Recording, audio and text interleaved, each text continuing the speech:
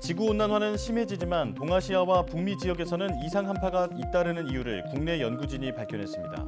키스트와 연세대 공동연구팀은 중위도 해양이 이상 한파에 영향을 준다는 사실을 기후변화 모델을 통해 확인했다고 밝혔습니다.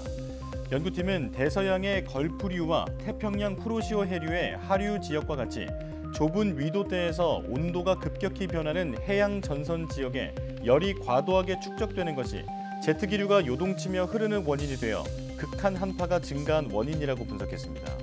이렇게 밝혀진 해양 전선의 영향을 기후 모델에 적용하면 중장기적인 관점에서 겨울철 기후 변화에 대응할 수 있다고 연구팀은 설명했습니다.